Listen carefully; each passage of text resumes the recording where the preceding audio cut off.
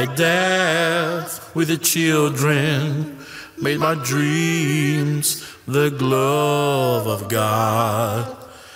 And my spirit started to watch this ballet of the blind.